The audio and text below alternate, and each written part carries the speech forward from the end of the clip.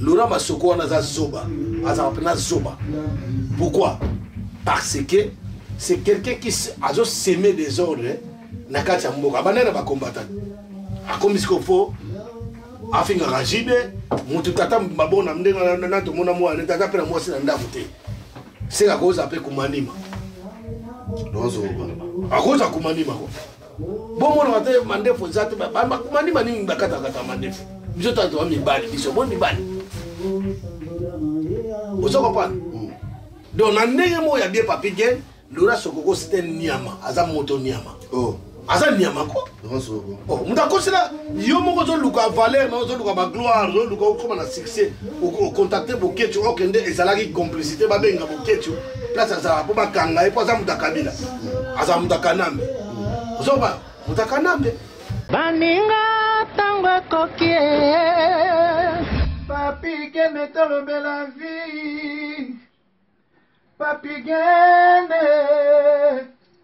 Papy Gene tolobela vie. Eh, yo susu outi epa wapi nazalaka moninga na yo te ngai se beniko popo lipo kulutu ya baleki nazalaka moninga na yo te mpe nakotikala kozala moninga na yo te papigene tolobela vie oyoka mister siatul nazalaka moninga na yo te papigene tolobela vie estce ngai naza moninga na yo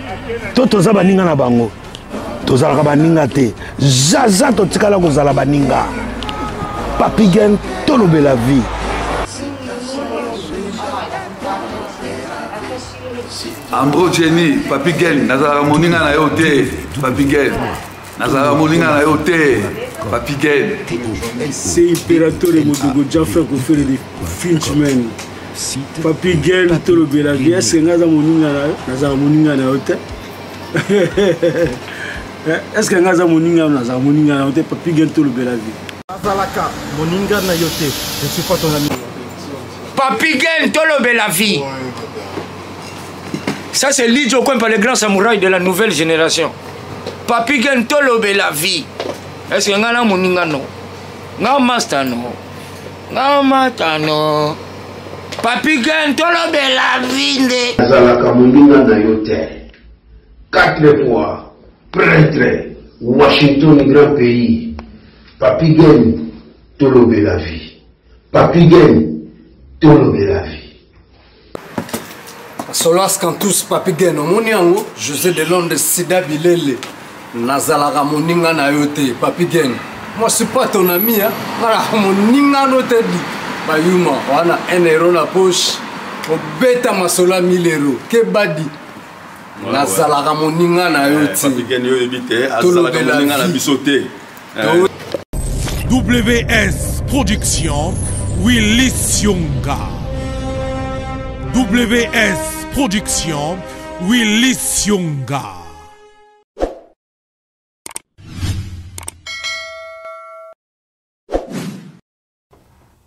topesi bino mbote partout bokolanda biso na tolobela vie officielle encore une fois lelo toza na celezino met d'ici washington merci na yo eric shimanoka pdg authentique pinosi agostino merci merci na géri mboma na canada didier yi merci euh, il a dit il a fait il a promis il a réalisé jean claude mabanzo merci merci encore na ipe diego kao de london mbamo namonaka platini chipamba wana mpena baza ya ngai eh. na mosika kuna ozomona emile bamba de zurich aza koya be koya emile bamba de zurich ah, ngai na bato na ngai eh, ah, papi lokwa carte d'unité formule asuka naza leona selezino esemwa mikolo tokutani te oyo toprometaka bino ke chaque semaine bondoza biso ata mwa deux fois mais bacontre temps boyi mboka oyo selezino aza moto ya mosala ye bulo na bulo kayu na kayu tona selezino tomeka kosolola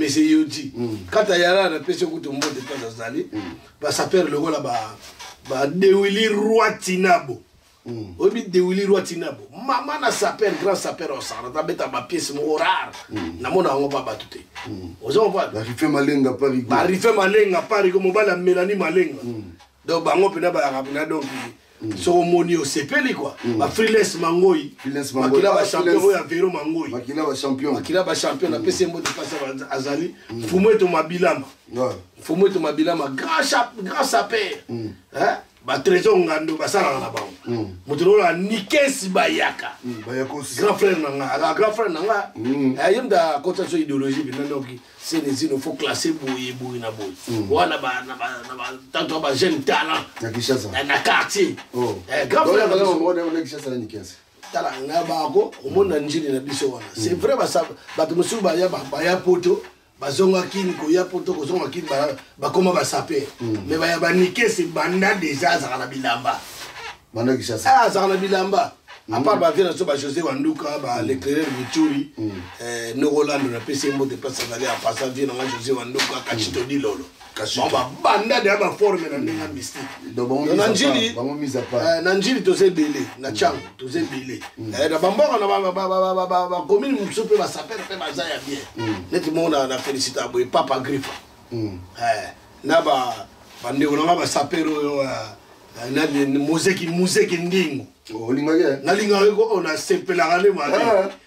muzeki ndingu napesi yo mbote ah. muzeki ndingu wana nasapela bien eh, nalinga donc na léopard de la sape bango tu kua bapeti ozo chinois de kin eh, bagrand saper basalaka na bango mm. donc moi je préfère les gens oyo azosala na ye mm. il va se faire plaisir mm.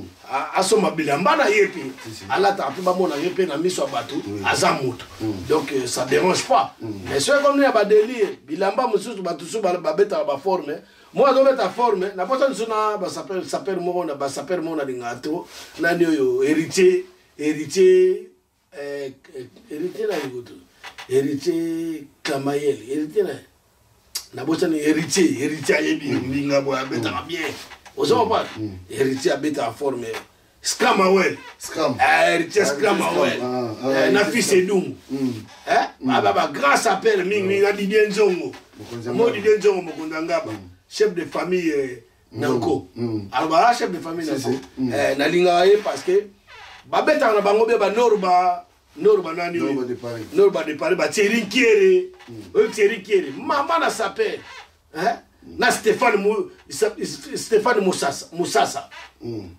Euh, Stéphane Moussa Sador abetaka forme danger mm. ozo comprendre mm. donc bato bazalaka na bango ozo comprendre mm. mais basapere oyo mosusu babima bima seke mwana petit moko wana okola kote na bino atyaka balox na ye alandaka tata moko ya monene alataka bajipe neti bakristian na kwasa ondire kristian na kwasa abebisaka bango bajipe okoyoka ye moko celui qui se sent pire connaît le monde connaît l'affaire plutôt ozo comprendre donc nde eza wana na felicita surtout baserire kina wana babetaka forme dans babartes masinda mm. ozo comprendre mm. donc basapere oyo basalaka mm. donc ozomona teke moto ayibaka te asalaka mpo asomba yango bavile pambani patron awa na société na ye mais so omoni vile pambani atelemi bondimi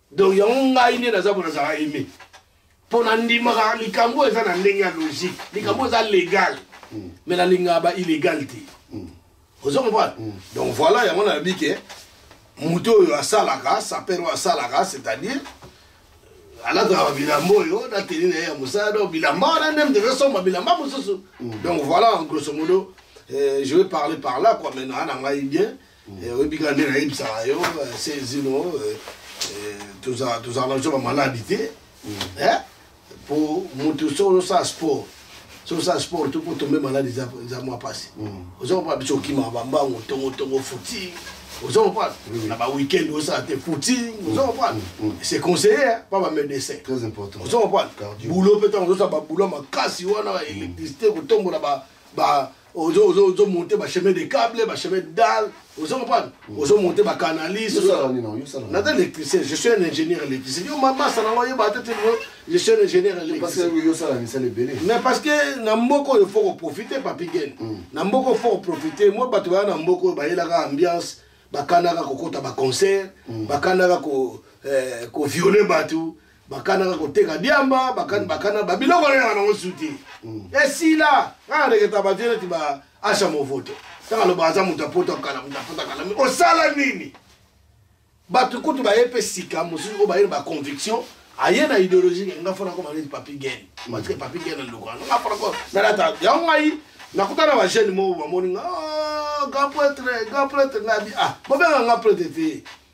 bonanaka masa na bino biso toa bakongole mm. nga bobengaka pate o oh, te biso tozwa idéologie na yo mm. ndenge olekaka kaka na papike ndenge olekaka na bareseau sociaux olati teni donc yango biso mpe tokoma na bulo na po totataka teni mm. quelque part naza édicateur te na édike bajeune batika distraction batika olanda bamusicien sataniste bamusicien doberman comprendre ape batika balanda bamusicien doberman poso tolanda neti papi ge ndenge ozalaka boye ndenge oza na wana na chaîne na yo eh, tolobela vie tozolobela vie mm. tozolobela distraction te mm. tozolobela nde vie sikoyo bato nyonso oyo batalaka biso na oyo baotala yo donc bazo comprendre bamoko ke non fo tolobelaka vie na kati ya kolobela vie toza na baastuce ebele na baadage ebele ozo comprendre mm. donc moto azolobela vie fo alobela mosala fo alobela foyer na ye mm. fo alobela comment se comporter en tant que responsable père de famille il faut alobela mpe ke il faut remarquer les choses qui se passent dans notre communauté qui n'est pas bien hein mm. babiblia omo eza eza cantique te ozo comprendre donc fo olandela babiblia okona yango na sikoyo moto fo alanda papi gene moto fo alanda papi gene azala mpe lokola papi gene mm. mpo bato balandaka miyibi bakoma mpe miyibi soki olanda assassin okoma mpe assassin mm. soki olandaka eh, kaba kaba okoma mpe eh, vendeur des organes humaines mm. okota na kati ya trafic wana oza mobana donc nga sikoyo na edike bato bajeune babukana te parce que l'exemple est par moi même nga bana na nga to balataka batele azokende classe mi classe mi technique mi classe mi technique à part ça na, na mboka oyo tofandaka mondele leta ya mboka oyo mm. evalorisaka peuple na bango na ndenge nini epesa bato baopportunité ya baoffre na pôle emploi baformation soki okutani na formation neti ngai nazaka électricité naza mpe chef cuisinier parce que na croisaka kote mo bapropose nga te baformation moko eza awa okosala te tellement makambo akolamba mpe na kolia nalinga yango mingi comprendre mm. nasala barecette moko se nalambela yango nzombo te nzombo na mosaka batya mwa yango ngai ngai oza comprendre eh, na kati ya nzombo yango otie susu mwa crevette eh, fumée mm. oza comprendre quelque part omona mpe na makelele mm. oza comprendre makelele euta na mboka te bao baliaka biloko ya bio te ngai aliaka mpena basandwich wana mingimingi te mm. oyo bamisuni awa ah, mingi so na nalia mosuni nakendaka kota banini oyo kuna na bamasi kuna na bazamba wana batekaka bangulu oyebaka te mm. batekaka bangulu oyo bapesaka bango badroit na bafin baperiode moko boye baboma parceke mm. bakomi ebele ozo kompa naliaka bantaba poso ozo comprendre mm. eh, mais baoyo batekaka mingi na baboucherie eya babiloko bakolisaka mbango mbango bachimie baproduit chimique eleki trop mm. yango mona bato mosusu bazozwaka maladi mm. mona azwi maladi ayebi te maladi oyo euti wapi ozo comprendre donc yango wana asalaki eh, formation na nga chef ya chef eh, na na titre professionnel en tant que chef cuisinier ozo comprendre tellement sikoyo nde mosala oyo électricité na bandango baya na classe motatoki na premier seconde mpo ngai ba ekole na nga primaire mingi mingi natangi yango na sainte thérèse ep 5 nabandi primaire primaire epai ya monsieur euh, citoyen mpaka mpanzo bato oyo batanga na sainte thérèse bato oyo babienvenu kusu balengaka mombele bato oyo bajoel lwemba barichard lwemba ndima ngondo bavie na nga ndima ngondo ya lombi nayebi so atanga so atanga mpe kuna na ye te parce que ye aza mokolo ye aza mokolo ndima ngondo akiba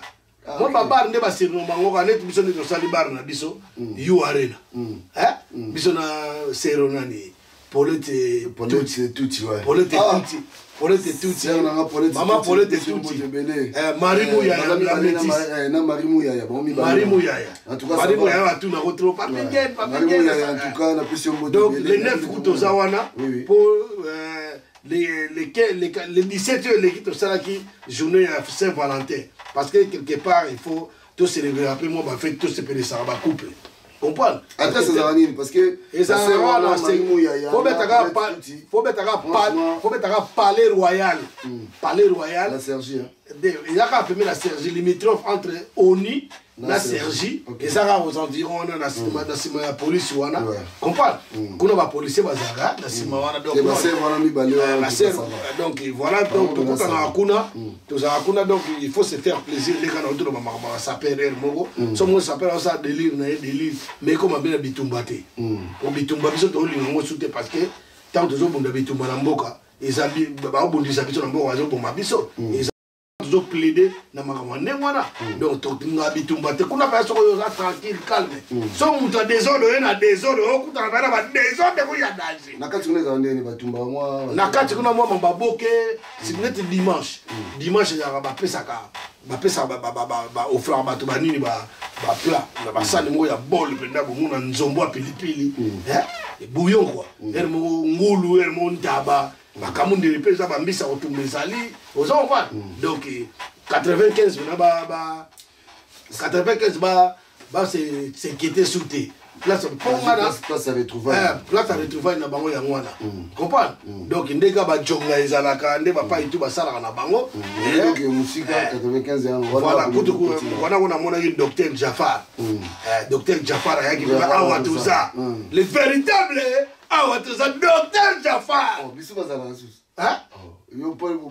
bonga mpe nayebi misusu nayebi misusu te te nga sikoyo nayebi defe defe nayebi na bapreuve oyo docteur jafar asala ozo comprendre mm. asala baproduit na ye na parce que certain docteur mm. achimiste ah. aza chimiste pour de vrai Ah bon? Eh, na ba na biloko ya mboka pena ba banzeta mboka makasa mboka ye pena awa toza awa toza na ya pomade moko ke ndenge so bochango pena neti ba jide piana ndenge do a a viola ye mwana mwana nchuka soki soki asombelaki kutu mpo amona ata sentiment libele anga asomba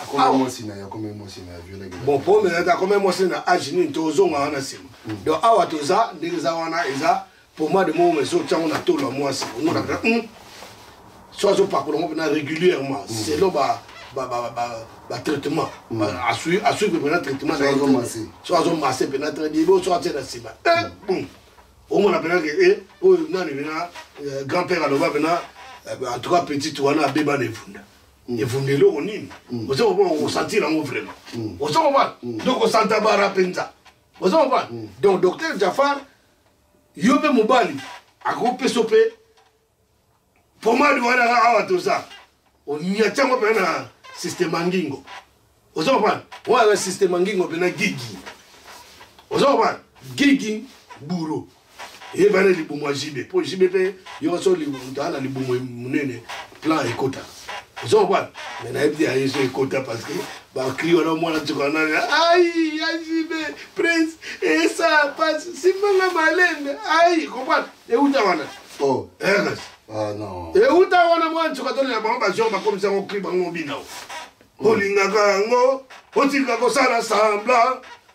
olingaka kasi yango wana bapreve oh.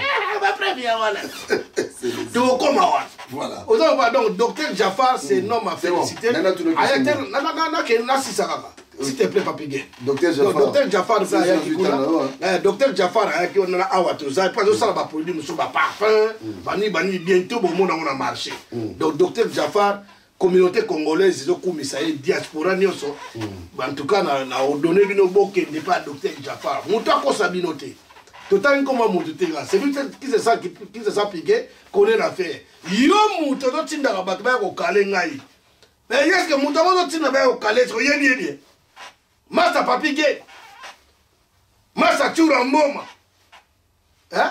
masa yurika lenga el toro masa ya opel ya qualité masa samir de la plaine mec d'ici les parents de tous les wesh wesh de tous les départements 91 ti na 78 ozo comprendre donc moi je suis là donc na, na se comportera bien napekisaka bajeune batika mobulu balanda teni boye na boye toi tu essaye de oser moto oyo ya mokuse ya koyebiso makambo wana ndenge ya koyebiso makambo ndeko ndeko mwasi suka donc c'est lui qui les a prié connaît l'affaire j'ai pas le droit de naloba kombo na ye amiyebi place aza so atali émission ya komiyeba place aza donc le 9 mm. mars papi gen mm. toza wana na u arena mm. palais royal soki obeti kaka palais royal salle de fête etout etout na oni eolakisa yo mais tozo évite bato baza instruit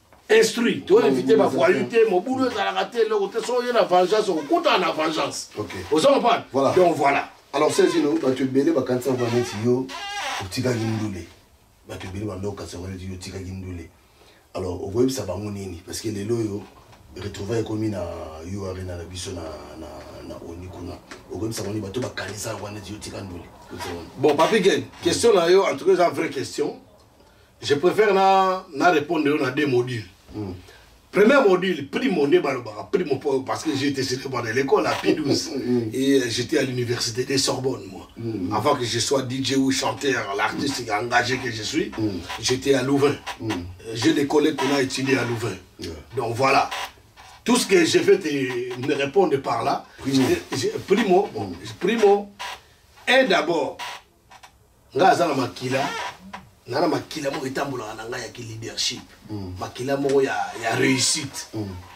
na réussisaka kaka naza mwana nzambe ah, mm. toyeli nga ndenge nini oboma nga epuis nalimwaka yo oyebi yango oyebi nalimwa omona esele nzino yolo omona aza suti soki na kati kuna naza te mm.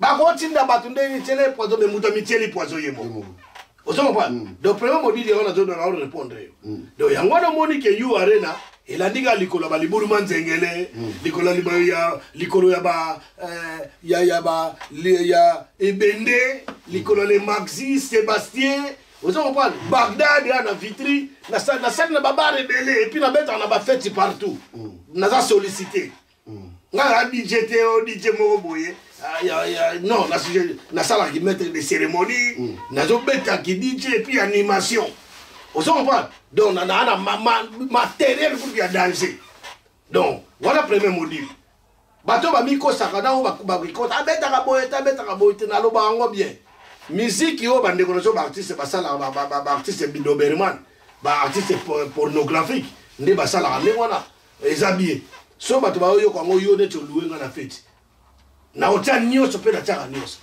mais soki ekomi naka ebeta ndule na ndenge badistraction nakendaka to oza komona nakendaka ta pase ya distraction na minute oyo ngai aza artiste artiste engagé il faut na défendre peuple na ngai na mboka na ngai na odefendre yango ntina soki epuis ça resterait plus longtemps so nakokufa bongo nakokufa bongo nakoprefere nakufa pauvre mais peuple wana na nsima na biso toyoka biso bato bakufaka place bakende na bayoka basango batiki na mokili so nakokufa un jour nake nayoka mpe eh, kongo ebonga grâce anga mpe nabike na contribue ata mwa liloba place baba alobaki nga mpe naloba place bokeco alobaka nga mpe na contribue place eso alobaka place eh, bato bato mpo populaire balobaka baodombo ba mama mongala ba mama sanza moi ba nani ozo comprendre mm. place ba lobaka nga pe na lobaka ba vieux nazo ba Jackie Jackie Kanza grand maître ya combattant place ba commando euh, Thierry le commando aloba po nga na combattant ya mutu tout mm. na ya résister ya mutu tout na lingaka te bato bazala na ba conflit mm. ozo comprendre donc c'est ça ozo comprendre c'est un peu ça donc sikoyo soki ono badistraction nakendaka te mais soki eza mpona kosala mosala nazwa mwa limeya nameka kolisa bana na aide mpe na bato toyedaka toyebi mosusu tuku te na congo na aide bango na kosala yango mm. ozo comprendre mm. donc wana eza primo naa na makila wana segundo moto akanisaka ngai natika miziki il se trompe bameka na kose détrompe ozo comprendre donc ngai natika musique te mpo na kotika musique te musique babotamaka nango bamosusu bazoforce musique yango omona bango te baza ebele baforce musique bato batikaka musique bato bazwaka kisi ekoma mpena elmo basengi ye mpena donc fopesa ngai 80 personnes na famille na yo bapike na otika bia otika te akotika bah yo omona te bagrand père basala basuccès oyo ya danger grand père omona ye na nzela te lelo nde akoma hmm.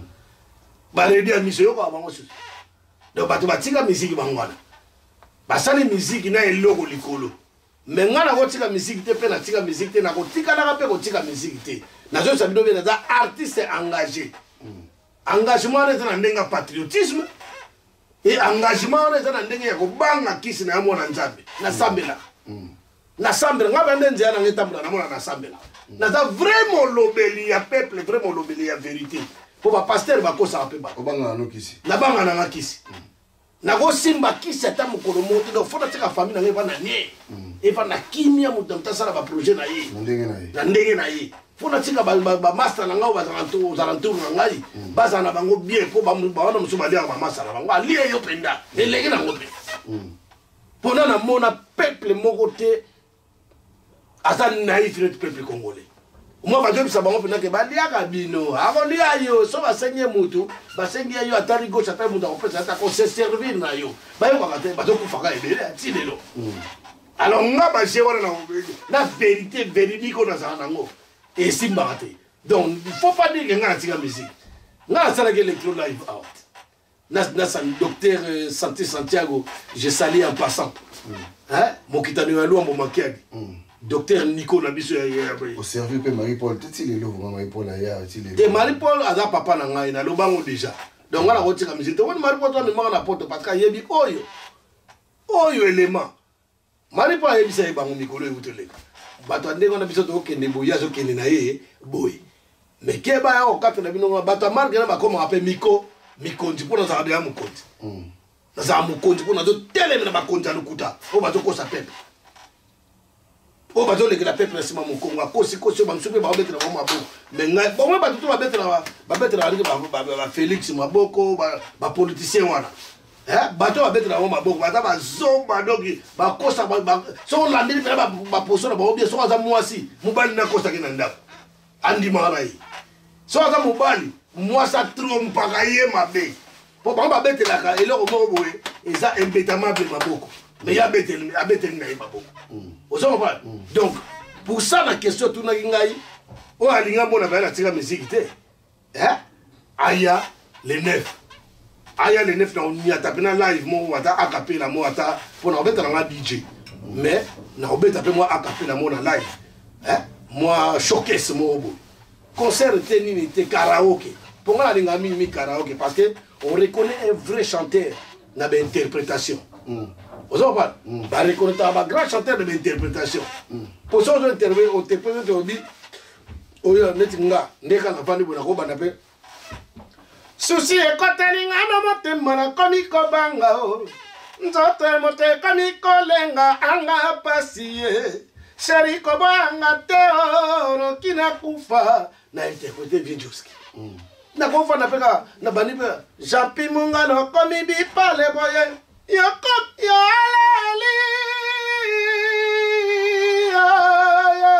L'interpréter faire. Parce que faire un grand chanteur. Mhm. Grand chanteur extraordinaire. Extraordinaire. Eh, nga bana kumisa affaire. Mhm. mais kaka nakumisaka ye nde te kota comportement ata yo na mosala mosala ayebi mosala na ye mais lokola bakisa neti mwa babiloko bon nga babiloko aya naye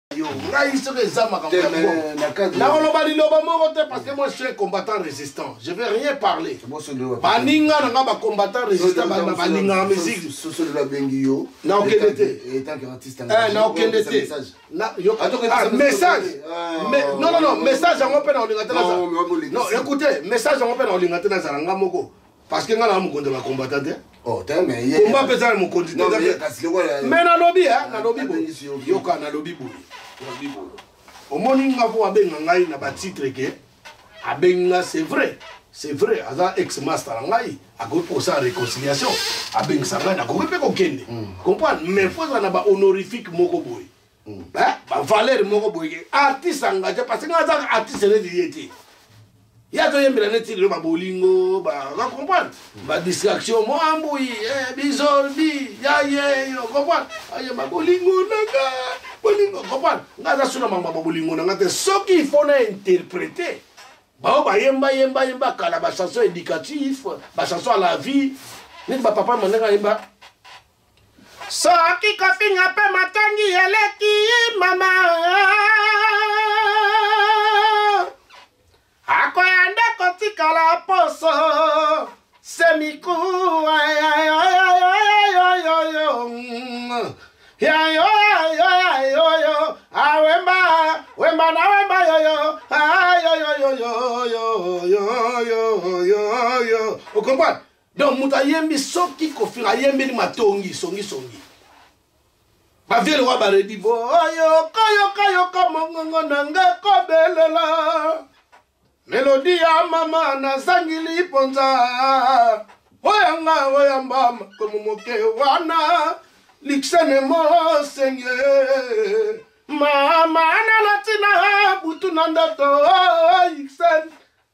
e ngai nakomi mobange basi nazuaka bakomi ozomela ngai ozo comprendre moto azoyemba vie ozo comprendre donc banzembo ya ndenge wana nakoki nde kointerprete eza kuta ebele ozo comprendre ya pepe kala yembi ke ngai kolitobuya na sambwe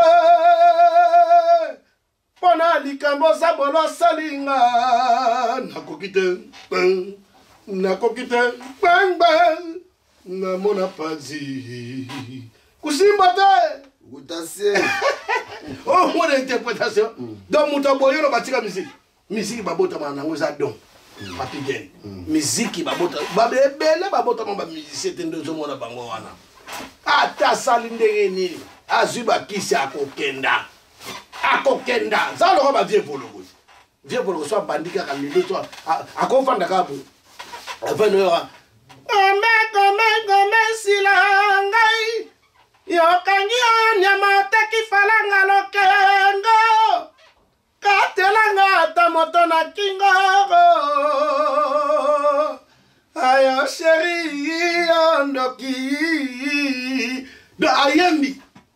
mais moto mosusu pesa tala po bokangaka bango sikoyo basalaka bainterprétation on reconnaît un bon chanteur un grand chanteur par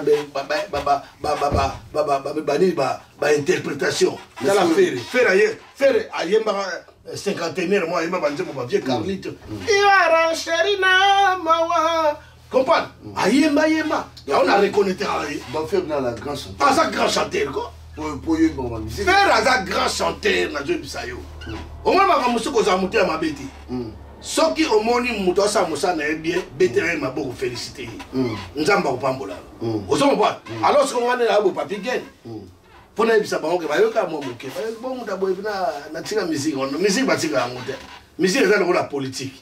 soki olingi miziki te miziki ekoratrape yo mm. oza kopala mm. miziki eza lokola mai so olingi komela mai te olingi komela yango te mokosokola yango oyo comprendre mhm. donc c'est ça donc mpo na koyebisa bato oyo baloba o ngai natika miziki o faux chanteur ngai naa faux chanteur te bino bokumisaka nde ba faux chanteur so lelo nde tosala eh, interview na papi gene omoni na commentaire olobi nyama faux chanteur na faux chanteur te naleki tata na bino na libota mobimba na bacousin bacousine baoncle baniese baneve ya famille na bino yo mdongo okoma mabe naleki yo namipesi no de réponse mm. donc ntango ozokoma olobi engai eh, ozo comprendre mm. c'est ça alors na biso na bi voilà. Euh, ndeko na yo ex master na ngai ndeko na ngai azobeta adidas arena mwa liloba mpo na ye te makambo wana ngai nakokota yango te papi geni naotoye biso so ekomi distraction je suis pas là nalobi je ne suis pas là lelo tozosalela baopinion ya bato hmm.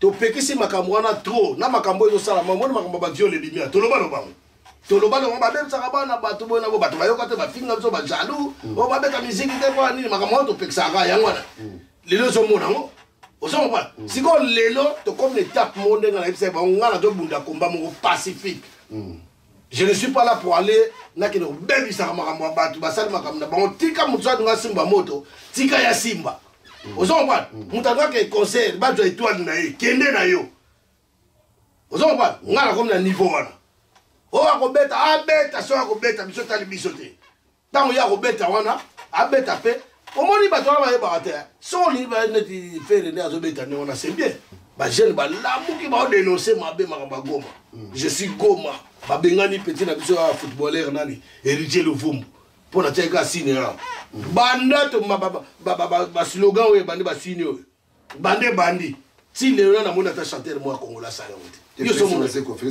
felix wazekwa akopesa ekute koyembela nzembo fo yemba na denoncement soki oyembaka nzembo tolingi guerre te tolingi mpe ekota na nini oyo eza nango kaka message moko léger biso bamessage oyo topesaka eza bamessage moko lourd ocomprendre donc c'est-à-dire ozobangela oyo tozodénonce na traitre félix tshisekedi ozo comprendre aza président ya banomaki ye aza na pouvoir ya nomination mais ntango azo comprendre makambo te azosala makambo oyo ye moko aprometaka bato akosaka susu bato bino moko bozomona eya lokola yo papi keno oyebisika non yaka na studio tosala émission nakoma awa boza na yo te na balobengo oyo naloba ye bongo te na génération na bino naza leader na génération na bino ngai nga leader na génération na bino mais ngai bon génération ya banani génération na bino te fo loba bien nga azala so na bagénération na bango wana te te kotya nga te nga naza artiste engagé donc biso génération na biso na ndenge ya congo tokandenge ya congo te awa na bon na congo bon na congo génération lelo na congo mm. toa na génération moko mais eza mwa différent mm.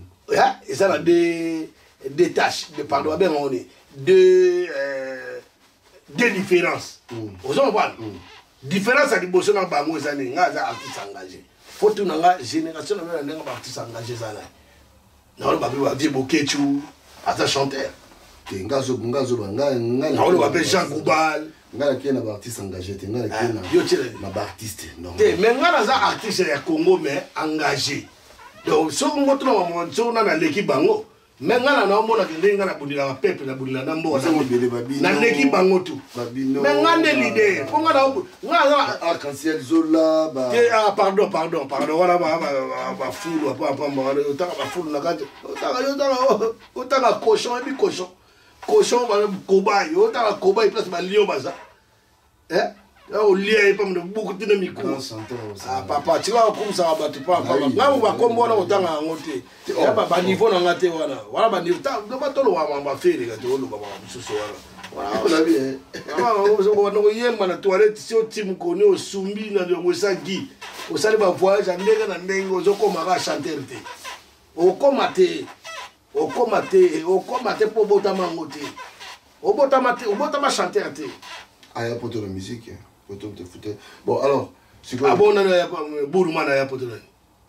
Hmm? Burman. Mon parapara. Ah, aya poto bani. Burman ba ya poto na musique. Si ngolo bani ko ko ko mo bani. Mais yo ay nga yemba. Aya poto na musique ba zembele. Na no tanga ba. Olina tanga sommet. Tanga. Kayo yo bo yebi. Na tanga so ba faux chanteur ba mi yebi ne bazawana. Hmm. Eh?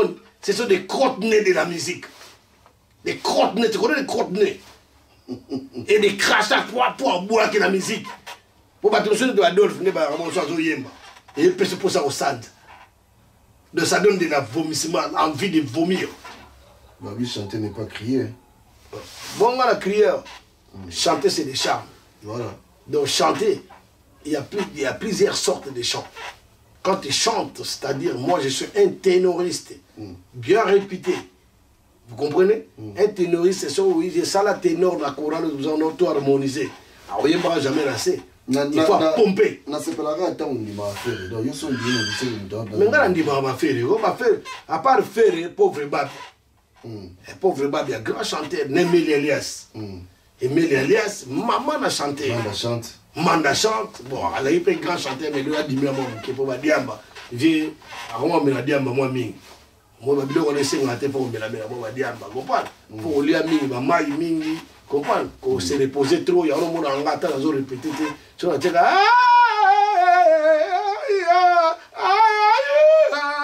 eke okopa donc me bachanteur mosusu mpe baza nango mpe ya danger na ntangi bakomona bango te mais bafaux chanteur nde na congo baleki ebele bato neti basuzuki aza faux chanteur na ndenge tu physique ma faux chanteur mongongo faux chanteur kobina luketo abongo faux chanteur akoseduire ata mwasi te na luketo wana hmm, diambo ya melaka na voi ya mabe aza nango ebebisa so voi bazwaka nde bachance mpa kofi kofi seri wana ayokantie mwana moke ayokantie bebe nani oyo bebe chanda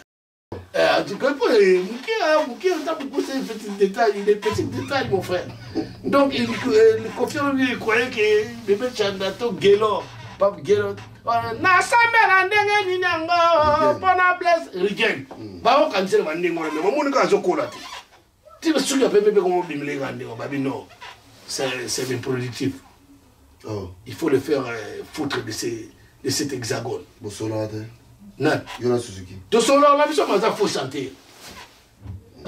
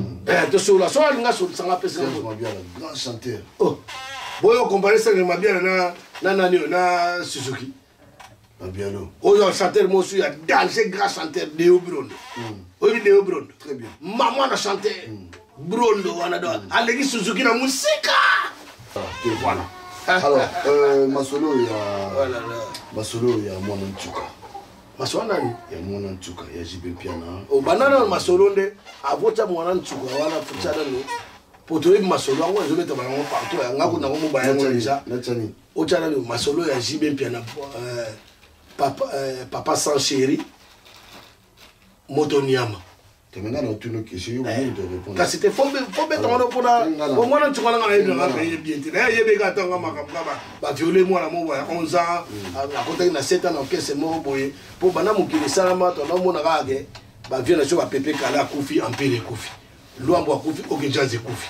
Comprendre? Mais ya mbala liboso esalama na Congo. Leader na bino aza violeur, aza pe vivant.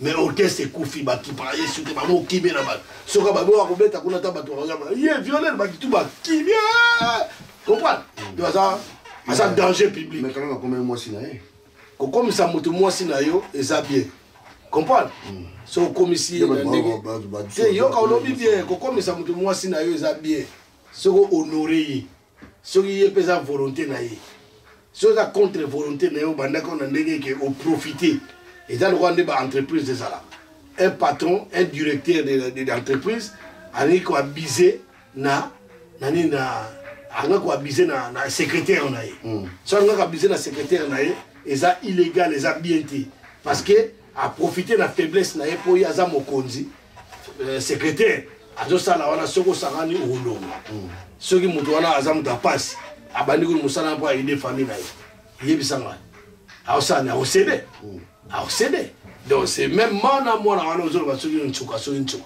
hmm. nsuka wana ndenge aza wana comme na nsuka brunette nsuka brunette nsuka donc brunette nsuka akendeki ta mosusu conjoncture ya mboka na kati ngai nao nde tokofanda toyebi conjoncture ya mboka na biso comment les peuples eh, vit dans la misère hmm. comment il galère ozo comprendre toyebi famille na bango te nga moyen na traite famille na bango eza te ta mosusu mpe mama ta mosusu motu osalaka susu bien te na ndenge kata mosusu ye mpe asalaka kaka makindumba bien nini nalobi bongo te me nazo réfléchir un peu j'essaie d'analyser ozo comprendre donc papa mpe soki akenda wapi oyo bapapa akeni mingi mingi ya yango azwa nde mwasi mosusu nde babwana na mama amelaka nde bamasanga na ye quelque part mm. mwana akomi delese mm. nani mpe amema ye na batout bon bato soki akomema mwana na ye mpo aévolue place mona ndenge akongo mpo awa biso na bamboko nde tofandi bomaka mabongo esalamaka te mm.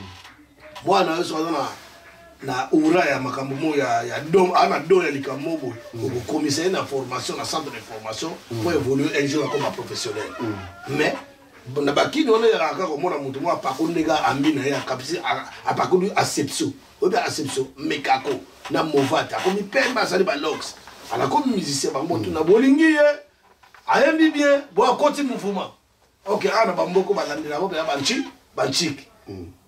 eh, balinango mwa baorganisme oyo tomona eleka na batv boye mwana mpe moto abimi azwi mpe na poli te epuis baartiste oyo ya bon koloba te na bamboko mpe elekaka te elekaka mpe na bakuzu hmm. baviole wana elekaka na bakuzu ozo comprendre hmm. mais eza soki bazwi yo awa kumbwa kuna kuzoka ozoba ka so batatameli yo kananga nkumbwaku na kuzoka oza mopana na mboko basakanaka nango te oza mopana mais mwana wana ntango ozoloba bakomisa akomaki mwasi na ye no mwana moke bongo na ndenge mwa bie papi gen biso tona bana mpe wa parent mais mwana ndenge wana akokoma mwasi okoma mwasi yango na contre volonté ya mwasi yango hmm. eza kozala mwasi yango te en tout cas nabeteli yo eh, ndenge masolo ya baentreprise ezalaka directeur hmm. anga akoma kaka eh, secrétaire na akoma mwasi ye na makasi nana nakuti eloko moko pour ton information justice asali mosala na ye tout de suite là nauti kolanda yango eh, bakateli jp mpe alova apesa mwana wana 130 000 dollars na parcelle oui. mpo na yo moi ndenge nini to bakangi ye te akati makambo alfa apesa ye te bakangi ye te basambeli wapi bakende lelo na, na, na tribunal ah. justice akati babifokomi na waso moto aviole motu donc so bakateli esenga aza fautif bareconnaitre ke mwana na aza victime te yango wana azoloba so bakateli ye eh, bamanda wana olobi hmm. bakateli yango parce que elakisi ke sikoyo aza fautif donc towana tor te moto azoyina ye te hmm. donc ekomi nango ndenge wana moto akoviole na ye na mboka wana alopesi moto mbongo oyo mona motala mboka moma nde toke awa merite yango te wana eza bamande oyo balobaka soba nde tosali osali deli moko boye nde bakataka ke non 5 eh, eh, ans d'emprisonnement bien 20 ans d'emprisonnement avec amande ya 130 000 nani wana nde tokondima justice asali mosala wana justice asali mosala te hmm. oyo sikoyo wana yo papi kende mpenza na ndenge mpenza balua mpenza juridique mpenza elakisi mpenza justice asali mosala il faut asibir mpo makambo oyo ezoleka na congo wana makambo baviole wana ndenge ye bareseau ezalaki ebele ebele mwana ngo akomaki na 30 ans mwana nakota biso nyonso tomona ye joka yamba ye biso tomona ye ndenge azotambola na nzembo azoyemba sheri nanga mwana nsuka mpo barebela m23 kutu baa na preuve te parce que toyoka wana babitumba baguerre bakoleka na village mo baviole bamama baviole bana basi ya mike baviole na babebe bakati bato babomi bato baleki hmm. mais jibe piana asali baacte moko bango justice mpo bareconnaitre yango ke eh, baacte wana eza très très dangereux puis grave détournement de mineur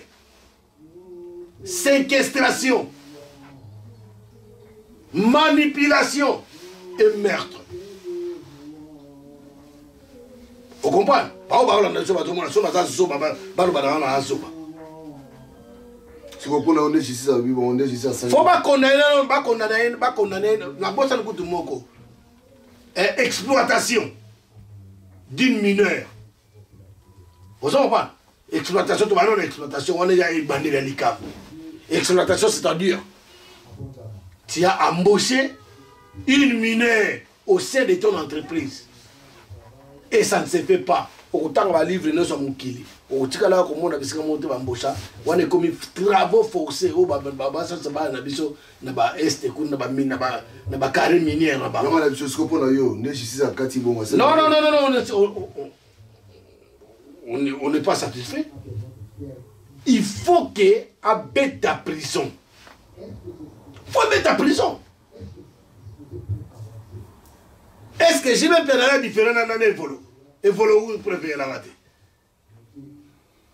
evoloko ya grand chanteur legende ya mboka grand leader ya mboka akendaka prison boyebi yango te yo oyebi yango estce jibe piana aza motu mosusu aza na biloko ya kati ya or na libumu na ye wana mpo natanga balivre natanga makambo na découvrir kesis cache na libumu ya jibe nayebaka te ti lelo oza kopana natangi balivre ebele na balaruse naluki naluka mpenza do natala soki libumu ya jibe ezalaka na nini na kati ntango alala ye mwana wana ntango azoloba meurtre epuis maître eh, asali aza meurtrier na trois module alaleli mwana bato soki poi elekaki ndenge alalelaka ye bongo nde akotisaka ye misaka minene wana aza nango so mwana wana akufaki na eleka na passe sepe basalisi mwana wana deux fois avortement donc babomi bato oyo nde ezala na kini ke mwana mwasi moko akelongola zemi mpo alingi te mpana ngo bayeba ekope na tie zemi akufi oyebi yango so mwana wana akufaki epuis ah, mwana wana akufi te mobomi bato deux fois bebe wana wa nga abotama baza bato ekelama nzambe ba ba créature c'est les créatures de dieu mm. tu les as tués wana meurtre détournement de mineur mwana aboyaka mpona asi mwana nana azalaki nango abanda koboya ye moko alobi yango jibe wana otyanga misapabe azofongola ngo esprit zala calme koloba mpa motu te makambo oyo etali kaka biso mibale so nayoki wana mato ya moto mosusu yeba yango bakokanga nga bakokanga mpe yo bakokanga mpe na famille na yo ya manipulation te eswa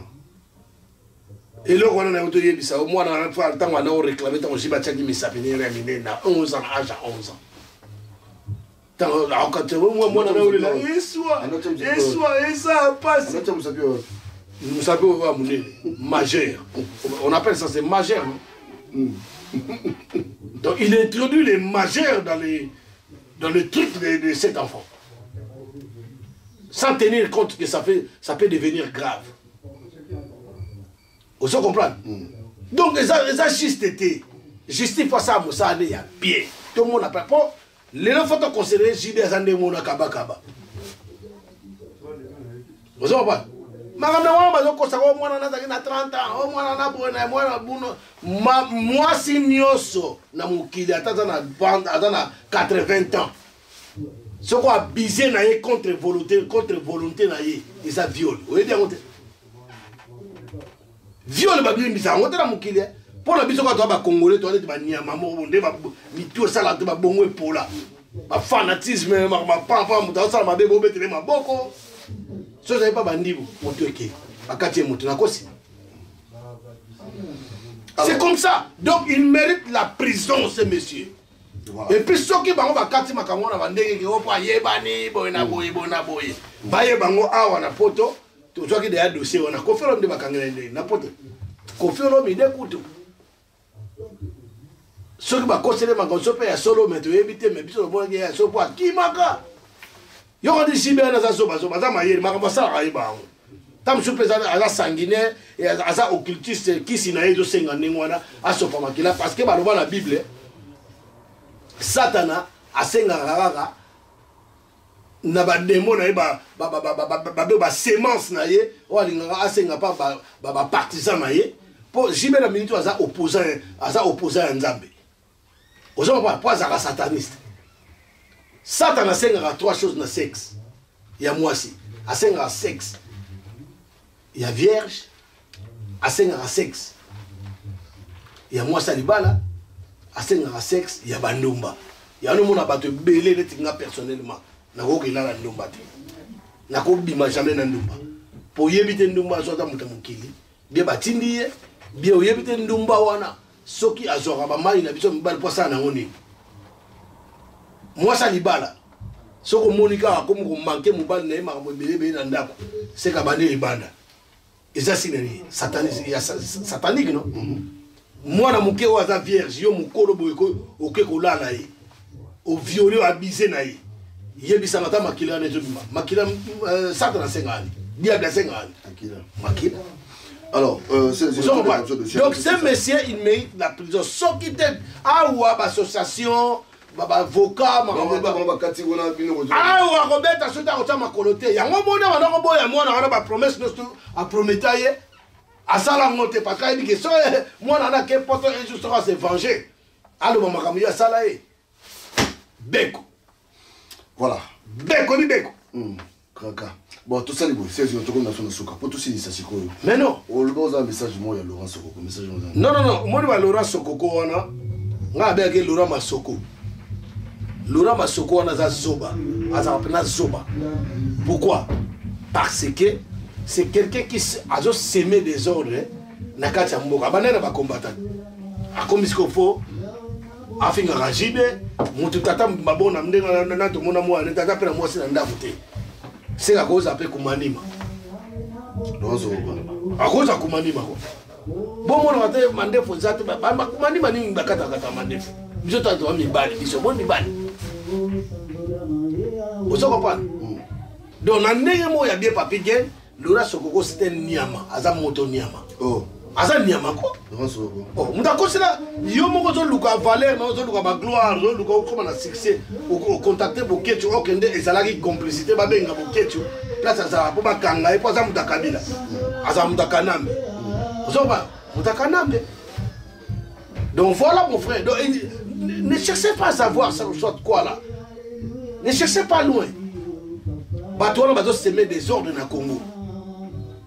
oza kopa so alingi azala mpena motu bandimaka azalaka na baverité neti biso